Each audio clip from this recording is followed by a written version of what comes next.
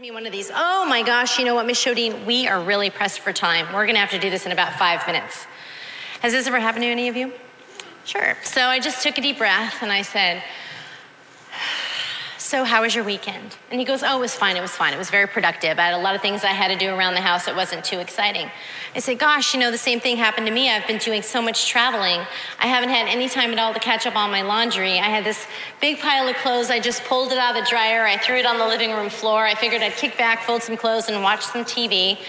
And I understand that you're really into bass fishing, so I made it a point to watch this show. I'm sure you've heard of it. It was called Bassmasters. And he was like, like his whole facial expressions changed. And he goes, You watched Bassmasters. And I said, Yeah, I sure did. He goes, This last Sunday, you watched Bassmasters.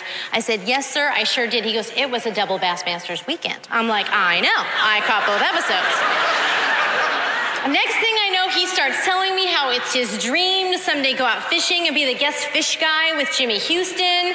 And then he starts telling me how he got his BASS card. Next thing I know, he whips out his Day-Timer. He goes, Young lady, have you ever been before? I said, No, sir, I haven't. He said, I am taking my family to an upcoming novice tournament. Would you like to join us? I'm like, Woo! Sign me up.